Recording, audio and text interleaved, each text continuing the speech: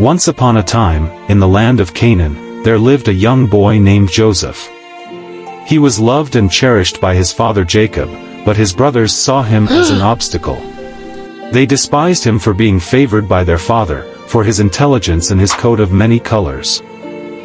One day, when Joseph was tending to his sheep, his brothers attacked him and threw him into a pit, leaving him to die. Joseph was sold as a slave to an Egyptian merchant, and his life changed forever. But even in his darkest moments, Joseph remained strong and faithful. He rose to the challenge, impressing his masters with his wisdom and determination. One day, he was accused of a crime he didn't commit and thrown into prison. But again, Joseph refused to give up hope. Through a twist of fate, Joseph found himself interpreting dreams for the Pharaoh himself, and rising to a position of power in Egypt. And when his brothers came to Egypt, begging for food and mercy, Joseph forgave them, proving that even the worst betrayal can be overcome by love and forgiveness.